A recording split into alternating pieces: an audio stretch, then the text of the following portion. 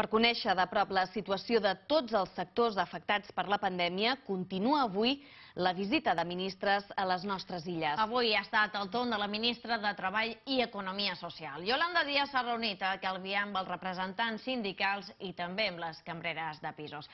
Aitor Vallespir, molt bon dia. Què ha dit la ministra?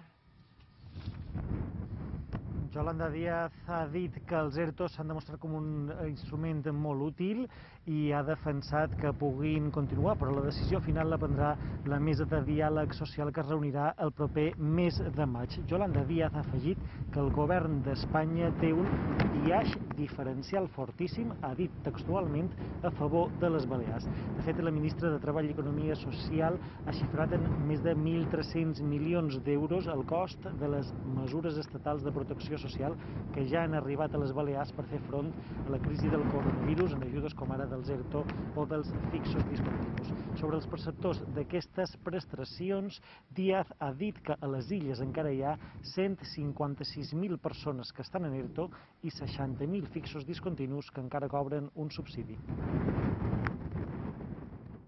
1.329 millones de euros, solo en protección social.